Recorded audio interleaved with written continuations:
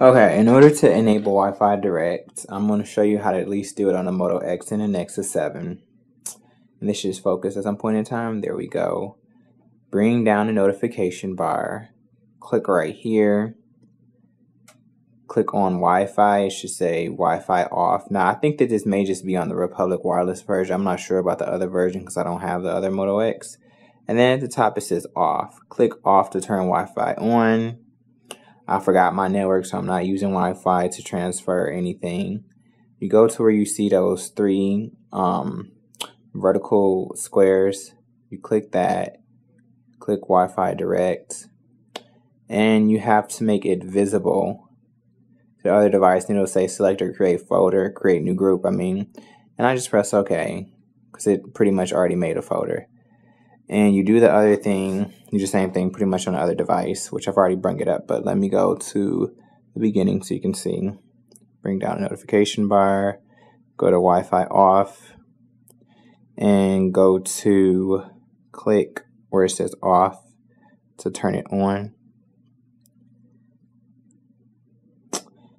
And it will turn it on, and here the vertical squares are at the top. And I'm thinking it just may be a feature of this is Android 4.4 KitKat on my Nexus 7. My um, Moto X for Republic Wireless is 4.2. So I guess up in these versions, this is how like the notification bar looks and stuff.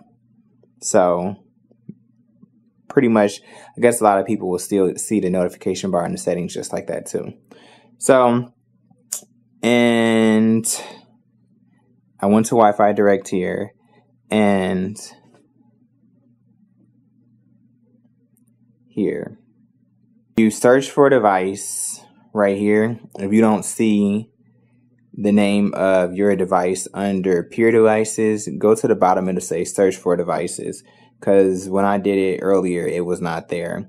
And then you click the name of your device. And it'll connect it. And that's how you enable Wi Fi Direct. X. Hopefully this thing starts to focus at some point in time. There we go. And brightness is light. I just turned it down some. Don't know why. I guess it's too much. Okay, there you go. And you download SuperBeam from the Google Play Store, which is right here. Click on it to bring up this screen and you see it has options to send files and folders, audio and music, photos and videos. In order to send files via SuperBeam, you need to have it enabled on both of the devices you want to beam stuff to. So I also have it on my Nexus 7 tablet. So what you do is it has categories of the different types of files that you want to send. So I'm going to send a video, for instance. I'll go to a video and I sent one just a second ago, a big one. I'm sending this other big one. This is a video. So you go to the video, you check it, and you press this top button right here, that arrow. As you see the file is 31.3 megabytes. You send it, it's enabling Wi-Fi Direct, and it's going to bring up this QR code. In order to make this QR code bigger, which you will need for the Nexus 7, you have to tap it again. I actually had already enabled it. That's one thing I can't stand about apps. Like once you already use a feature, it saves it and uses it again. So when I try to explain it on video, you really get confused. I guess some people do because it's like it's already enabled, so I have to go back. So you click it again in order to make it bigger. So on the device that you want to receive the file from, waiting for this to focus, you go to receive and you go to scan QR code. It, will ask you that every time, but I'm scan over the QR code.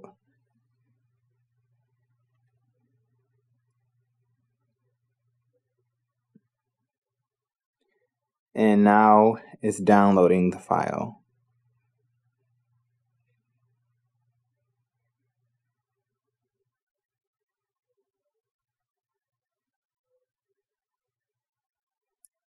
Once it's done downloading, You can put on your notification bar and it'll say SuperBeam completed. And you tap, could have sworn I tapped. And then it'll tell you the name of the file and you can click it to select it. And then it'll bring up some options depending on what kind of file it is of different apps that you can use to open it. I use doubleTwist for like pretty much everything, videos and music. And then you press just once or always. If you press always, this app is going to become the default app for this kind of file. If you press just once, it's going to just use it for just, just one time. And then it'll pop up and play. And that's pretty much how you send files wirelessly using Wi Fi Direct.